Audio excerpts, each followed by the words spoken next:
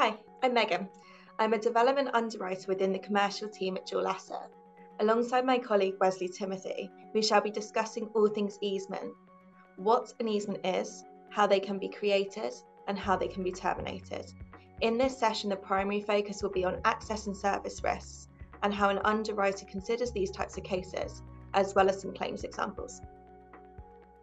Hello, I'm Wesley. I'm a senior underwriter here at Dual Asset, and I've been underwriting since 2007, all, all manner of risks from building regs to village green.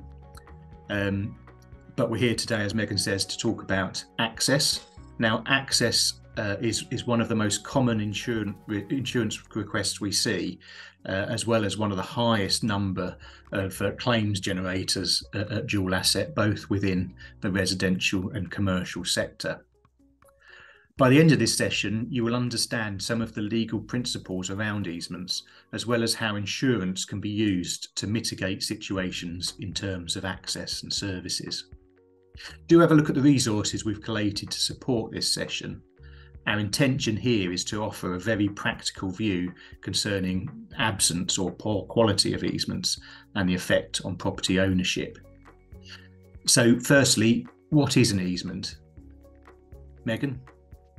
It is a right benefiting a piece of land, known as the dominant land, that is enjoyed over another piece of land owned by someone else, the servient land. Usually, an easement allows the owner of the dominant land to do something on the servient land, such as use an accessway or run services underneath it. For a right to be an easement, it must have all four of the following characteristics. Firstly, there must be dominant and servient land. Secondly, the right must accommodate the dominant land. Thirdly, the dominant and servient land must be owned by different parties. If they become within the same ownership, unity of seisin occurs uh, and the easement is effectively extinguished. And lastly, the right must be capable of forming the subject matter of a grant, which is a very technical phrase, but basically means that uh, it must it must be something that can exist as a right or an easement. Megan, how can easements be created? There are a variety of ways to do this, including express grant by a deed, statute, will, implied grant, prescription, contract, and proprietary estoppel. Good examples, Megan. Uh, predominantly, we'll, we will be asked to consider prescriptive easements for both existing use and for new developments. Now, the latter tend to be more tricky, which we will elucidate on as we explore this further. Express easements can also cause headaches, however, especially when they're not drafted clearly. And now, how easements can be terminated. Similar to how they're created, there are a number of ways to terminate them. The most common methods are express release, implied release, or operation of law. Yeah, it's notoriously difficult to terminate easements, and the courts are reluctant to do it where the matter appears before them, as we can see in the myriad of case law. So, express release sounds foolproof, doesn't it? To ask whoever has the benefit of the easement to give it up officially. However, it is rarely as straightforward as that. We need to consider an awful lot, in particular, all the factors that create an easement originally, kind of reverse engineering the right. But we must also be mindful as to whether the party that is agreeing to release the easement is the only party who enjoys it. It is important to consider the value of that easement in monetary terms, the effect that right has on the market value of the property which must be acknowledged to all the parties during that process. So, if expressly releasing a right is inherently difficult, implied release is a veritable minefield. Abandonment is near impossible to achieve effectively. As an example, have a look at Pizarro and Bourne of 2019. There, the beneficiary hadn't used an access right for 11 years. They'd replaced a gate with a solid fence, making the easement near impossible to actually exercise, and he even agreed to surrender it. But later, following a, a change of ownership on the party who had agreed to release, the right was deemed to still be enforceable. But I'll put an article on that in the resources here, and it involves proprietary estoppel. Creating and or terminating easements can be a lengthy and costly process However, legal indemnity insurance can assist. Underwriters will assess three main factors when looking at easement cover, being firstly, the physical extent, two, the purpose and manner of use, and three, any lim- limitations. Wes, do you have anything to say on those aspects? Yeah, I'll just go into detail on a few of them. So, physical extent. So, there we're looking at, for example, the width of the area. The uh, physical attributes that affect the easement area can have a significant impact on our underwriting. Where there is a narrow country road, uh, getting construction traffic or increasing the number of vehicles using that access way could be more pro- problematic than a well established clear cut road. We had a claim on a renewable energy policy, and here the client benefited from a wide express grant of access, which did cover the proposed use of the field. However, it did not cover widening the track to allow the trucks to deliver the construction materials, and that's where the claim came about. Uh, so next, the purpose and the manner of the use. So following on from what I've just said, an underwriter would generally look at the current use of the land and consider the intended proposed use, in addition as to how important that easement is to facilitate the intended use. For example, multiple access options, so multiple ways of actually accessing the site itself, present a lesser risk than a solitary access route into the property.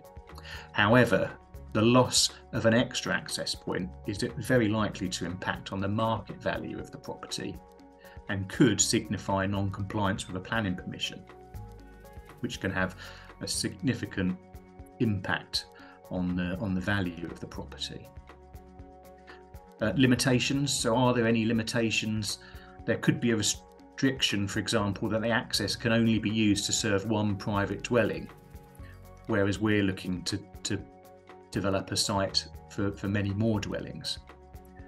Uh, this can be established by reviewing the use of the route over time for a prescriptive right or looking at the wording of an express grant. But don't be complacent with express rights, especially where they offer seemingly open use. Uh, in this case, it's always important to review the rest of the deed, particularly to see whether there are any restrictive covenants and where covenants restrict the property to residential use, running a yoga class, for example, from your outbuildings is likely to be considered an intensification of that grant. So let's look at some case examples and, and assess how these three consideration points are put into practice. Megan. As you said, Wes, a common access risk we are asked to underwrite is where there is a single dwelling on the property, however, they wish to add more properties. These are usually garden infills. As a result of this, they may wish to use an accessway at the rear of the property, for example, uh, which has previously not been used by the property as currently is. Wes, in these circumstances, what would the legal principles they can rely on be? Well, where, where the access route is registered, it is possible to obtain a deed of easement from the owner. Uh, however, if the land is unregistered, there's not much they can do. So, insurance would be the perfect option to consider in those circumstances. Shall we have a look at the principles of creating an easement and see how they fit in here? From an underwriting point of view, we can look at the physical extent of the proposed accessway. Is it a well established road? Who is currently using the road? Is it being maintained? what is the plan for construction traffic? As not always will the, will the proposed accessway for the development be used for the construction. Once we have assessed that aspect, we move on to the purpose and manner of the use. In this case, the access would be the primary access to new dwellings, with the accessway having not been previously used by the property. Lastly, limitation. In this case, as the accessway is unregistered, there aren't any known limitations. The owners either side of the access could look to claim ad medium filum. This legal principle will be explored in a later video, but even then, the risk is relatively low in comparison to a registered ac- access aspect. Right, so so there's no risk at all. Why would insurance be helpful if the risk is so low? Well, we actually had a claim on a very similar case to the above. The insured wanted to build an additional three properties in the garden of an existing house and use an unregistered, unadopted road to the rear of the property. The accessway in question appeared to be unmaintained. It potholes up and down it, and there were no parked cars that would have prevented the development. Luckily, they put the policy on risk on a pre planning basis.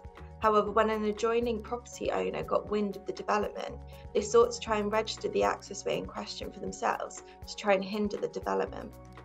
They also put up temporary barriers and obstacles to prevent the insured from accessing the property, however, these were easily movable. This all happened as the insured was a few weeks away from completion on the plot purchases. To try and mitigate the situation, as the road was in a bad state of repair, the insured offered to repair and resurface the road for which the insurance would contribute to. However, this had no effect, and the barriers were resurrected, and they were even parking cars to block the accessway. This did all settle down for a while, but when the plot purchasers moved in, it began again. As a result, the insurer paid to divert the accessway so that it avoided the so that it avoided the registered land that the claimant had title to. And that's interesting. So if the accessway wasn't registered, there wouldn't have been a problem. This is where other legal principles of easements come into play.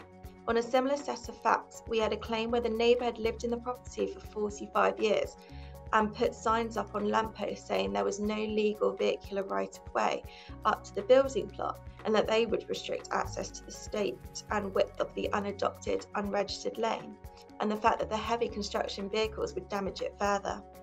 The claimant was doing so under ad medium filum, and given they have owned the property for a long period of time, it strengthened their case. They actually then sought to register the accessway given the long period of ownership.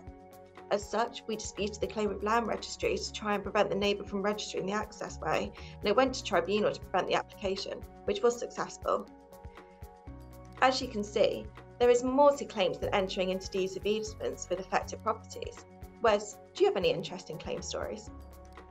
Yes, uh, Megan. The um, the case in Southend, in the Southend Riviera.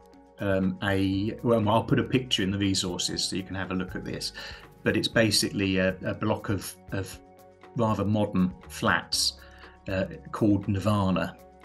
Um, so here, the developer had gone through the planning process, so all the neighbours were consulted on on what was going to happen um, with detailed drawings, etc.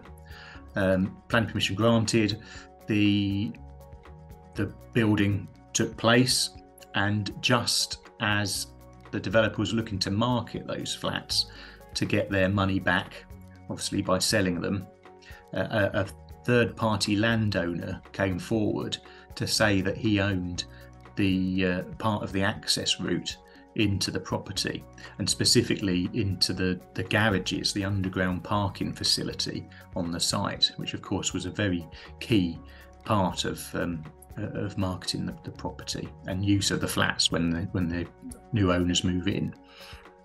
And it turned out that this this ownership of the access route was a six inch strip of land that uh, was located between the public highway and the route into the new um, underground parking facility. So this wasn't clear from the due diligence that the solicitor had uh, had carried out. So, so what would you normally do there? You'd look at the the highways plan and the title to the property, and uh, by comparing those together, see whether there was uh, there, there is an issue. But uh, here, even to the trained eye, no such problem existed. And the issue, therefore, for us is that there's no defence. Now, I say us, this wasn't actually one that we insured. This was a, a matter that I looked at in, uh, in the Daily Mail many, many years ago. And again, we'll, I'll put some drawings for you to have a look at so you, it will come to life a bit more. So, no defence. Uh, we've got simply got no recourse under prescriptive rights um, because it hadn't been used for vehicles to ac- access uh, the, the, residential properties before. Um, so we're really it's a it's it's a classic example of a ransom strip. Um, I believe it's now been sorted out, but it was a six-figure sum that uh, needed to be paid to this uh, to this man who uh, who simply sat back and let things happen um, the cynical side of me believes he did it in order to uh, to get the best possible price he could from from holding them to, to ransom. So, I mean, would we have insured it? Yes, perhaps we would, but I don't know why the solicitor would have come to us because using their own judgment, uh, they, they didn't see that there was a problem. But hindsight is wonderful, and it kind of tells us it may be prudent to get cover in, in, in a case such as this, where an access route hasn't been used before. Um, and I suspect it would have been a very inexpensive policy in the circumstances. What do you think, Megan? Yeah, I would agree. We see a lot of these types of risks where this very small area um, that looks like it's probably part of highways or um, a thick pen has been used to draw the uh, outline of the property, for example. Um, but it is amazing to see what can go wrong um, if those do turn out to be incorrect. You also can't forget about the service issue, where the house on one side of the road wanted an obscene amount of money for laying a pipe under the road closest to their side. They were claiming ad medium filum, of course. And, res- and as a result, the insurer knocked on the house opposite and off- offered them a fraction of the money to lay the pipe on the other side of the road. Imagine opening your door to be offered thousands of pounds for a risk you didn't even know about. Hmm. Yeah, I had a very similar claim on a on another renewable energy product product where uh, we'd we'd already negotiated an easement with the with the farmer across his where actually physically crossed his field. Uh, I believe we paid him about ten thousand pounds for that, but the insurance came to us because of an unregistered uh, track that was clearly used, had been used for a number of years, um, but under, as you mentioned earlier, medium filum. Um, he, the farmer, subsequently found out that he owned the subsoil of the track, and uh, and asked for well, we asked for the pipe, the the, the um, services to be removed. Uh, obviously, playing hardball, um, and asking for a significant sum of money. Uh, however, we did explore it in more detail and, and discovered that actually the, what, what um, comes under the definition of a highway, uh, we were we were quite well within our rights to have put that cable there, um, and we got away with uh, with paying him the same amount that we paid to, to lay the cable in his field where it did actually disrupt his uh, his farming. But the issue there is also that the the unregistered track went on for for quite some distance, meaning that if anyone was uh, was also aware of what happened up the road, we we could find ourselves in a contagion situation where it might not be so easy to negotiate. Right. Well, I hope you've all enjoyed this session with us. Uh, the intention here was to give you more of a practical idea of, of um, how easements or the absence of easements uh, can can impact on, on property ownership and how we would assess that case when it comes to us on our desks to, to view as a potential insurance policy. So, like I said again, I do hope it's been of, use and you've taken something from it. Um, and I hope to see you in uh, in similar sessions that we run in the future. Again, do take a look at the resources, and uh, and I hope to see you again. And thank you, Megan. Thank you.